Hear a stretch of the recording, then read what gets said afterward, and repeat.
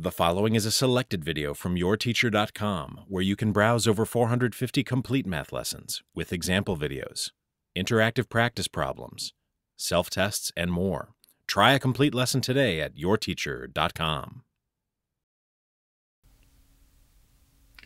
Remember that we can create a dilation by multiplying each of the coordinates of a given figure by the same scale factor to create a new figure which is similar to the first.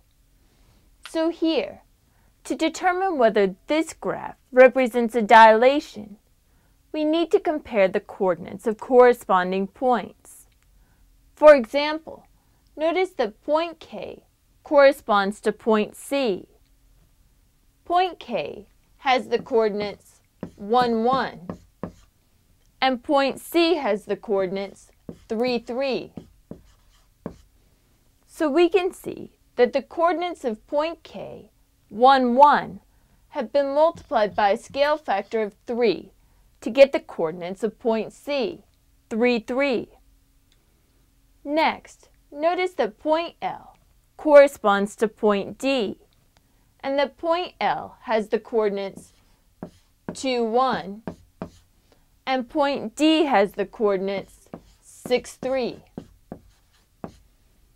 Again, the coordinates of point L have been multiplied by the scale factor 3 to get the coordinates of point D, 6, 3. Next, notice that point M corresponds to point E, and that point M has the coordinates 2, 2, and that Point E has the coordinates 6, 6. Again, the coordinates of point M have been multiplied by the scale factor 3 to get the coordinates of point E, 6, 6. Finally, notice that point N corresponds to point F, and that point N has the coordinates 1, 2, and that point F has the coordinates 3, 6. Again, point N has been multiplied by the scale factor 3 to get the coordinates of point F, 3, 6.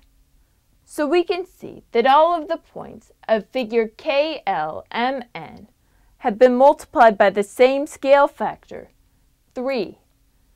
So yes, this graph represents a dilation.